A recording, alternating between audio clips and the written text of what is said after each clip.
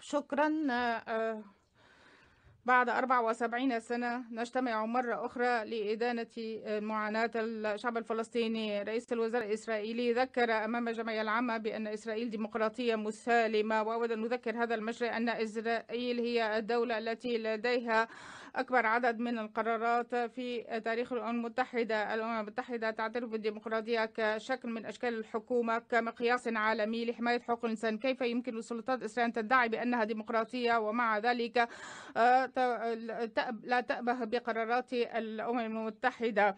ديمقراطية إسرائيلية لا تتردد في قمع المجتمع المدني كما شاهدنا من قمع النظامات غير الحكومية الفلسطينية أو طرد خبراء الأمم المتحدة من أراضيها. نحن هنا لكي نعرب عن دعمنا لكل مدافع عن حقوق الإنسان. مرة أخرى ندين عدم اتساق عدد الدول في إدانة حقوق الإنسان ونرحب بخطوات الولايات المتحدة لإدانة البشائع المرتكبة في الصين ضد الويغور. نتساءل هل أن مفهوم انتهاك حقوق الإنسان يتغير من بلد إلى آخر؟ هل أن الإجلاء القسري للناس يعتبر انتهاك للقانون الدولي؟ ينبغي الامتثال لمبادئ الديمقراطية وبالتالي فمنظمتنا و Geneva International Centre for Justice تحث مجلس حقوق الإنسان وكل دولة بأن تطبق قرارات الأمم المتحدة لوقف سياسات الإسرائيلية المتوحشة والاحتلال.